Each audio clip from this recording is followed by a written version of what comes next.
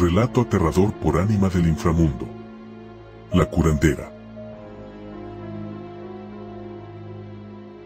Nana Hilaria me recibió sonriente, llevaba sus trenzas largas sobre sus hombros. Me tendió sus manos y me dijo, Pasa niña bonita, estoy aquí para ayudarte con tus martirios. En su mesa estaban los huevos, la hierba de sangre, el sabino macho, las ramas secas, la vela de parafina para ritualizar. Ansiosa y deprimida le dije. Me duelen los sueños y las tormentas. Nana Hilaria me miró compasiva. ¿Se te olvida niña que también en el dolor hay belleza? Pensativa le contesté. El problema es que no olvido Nana. Los recuerdos están atados a mi corazón con fibras de isote. ¿De qué sirve la belleza de un dolor que permanece? ¿Un fallo eterno de qué sirve Nana? ¿De qué sirve? Cúreme Nana Hilaria, solo cúreme, quíteme las sombras, arránqueme las promesas grabadas en el agua y en la tierra, mándelas lejos entre las alas de la mariposa, cúbralas de plumas y aléjelas de mí.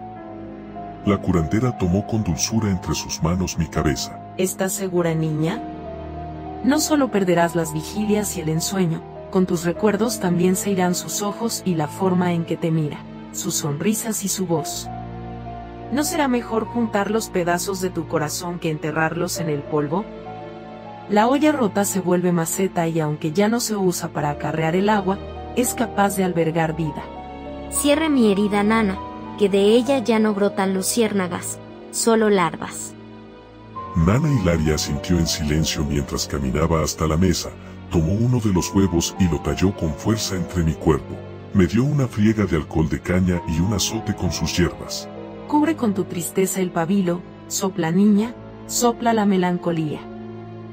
Junto a mi aliento iban las palabras sin voz, las lágrimas no lloradas, los sueños no soñados. Soplé al pabilo con el dolor de mi pecho y lo vi arder junto a la débil llama que comenzó a arder lento, muy lento. Nana Hilaria permaneció callada, entre sus manos contenía mis recuerdos. El humo del copal la envolvió delicadamente, la curandera miraba atenta aquello que fui, aquello que ya no era, aquello que nunca más sería. Al terminar tejió mis recuerdos como si fuesen hilos de algodón, fue tejiendo y tejiendo y tejiendo sobre ellos hasta formar un pequeño diente de león. Frágil, hermoso, vulnerable al viento. Caminó hasta su ventana y la abrió con firmeza. Giró su cabeza mirándome una vez más. Es tu última oportunidad, niña. Una vez arrojados al viento tus recuerdos no volverán. Bajé la mirada. Nana Hilaria se puso de puntitas, con una de sus manos sacó el diente de león y fue entonces que sopló.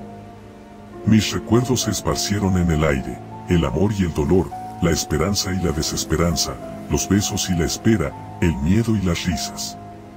Los pasos del camino, el musgo de las piedras, la tibieza de unas manos. Estaba mareada, perdí el rumbo, caí en un abismo. Al despertar vi a Nana Hilaria quemando el resto de lo que fui, en el fuego crujían las hierbas, en la olla hervía el huevo, en mi corazón, en mi corazón se abría paso el vacío.